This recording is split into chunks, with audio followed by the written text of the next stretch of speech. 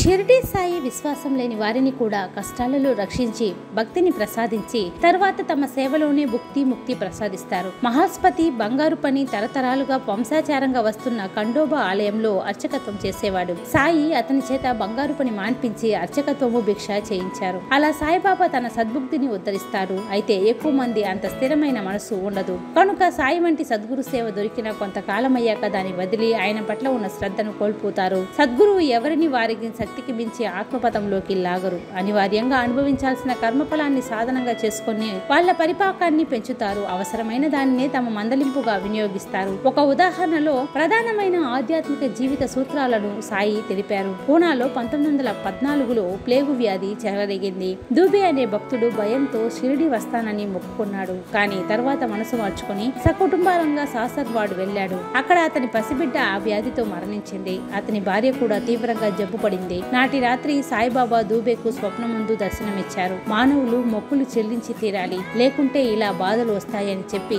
అతని భార్యకు నుదుట విభూది చూసి ఆశ్చర్యపోయాడు.